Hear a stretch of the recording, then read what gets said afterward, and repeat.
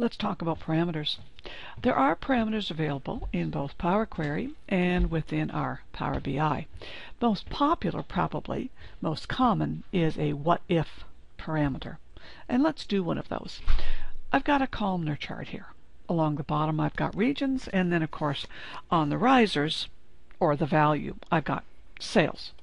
So what we want to see is we want to see what would have happened if we had increased those from half a percent, one percent, one and a half percent.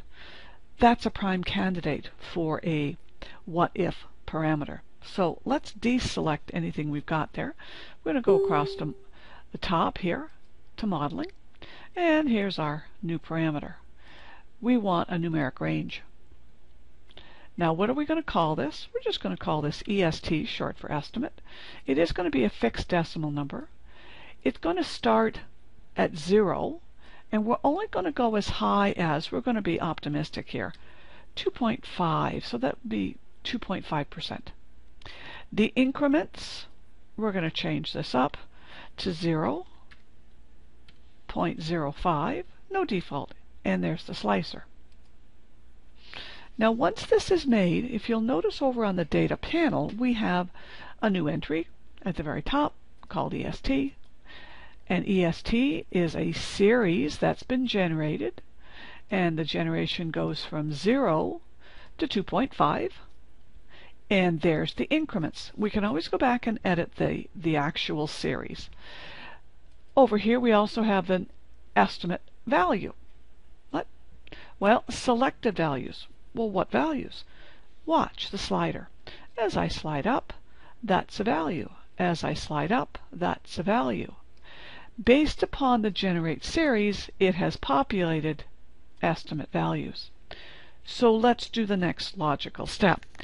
We're going to connect along the side to our sales table, and in here we're going to make a measure.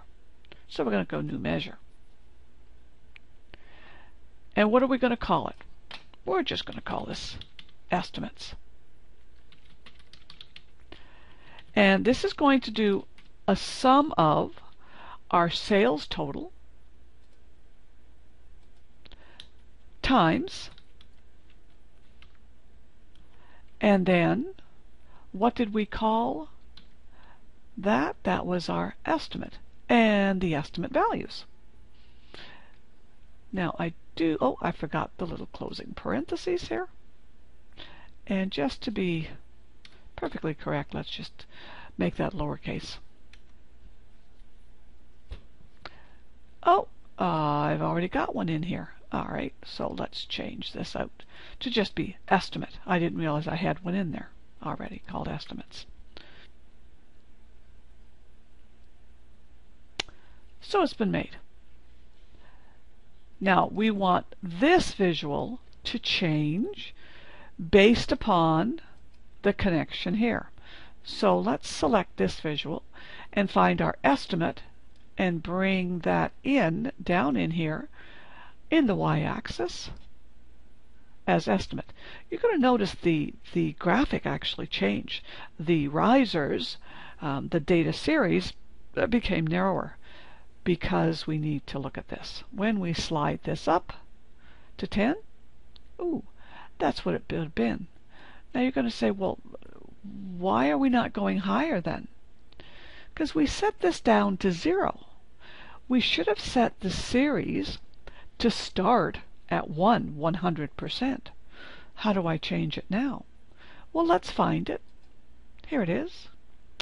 And generate series starting not at 0, starting at 1. And let's press enter. So now let's put this up. And it's 1. So uh, everything is equal.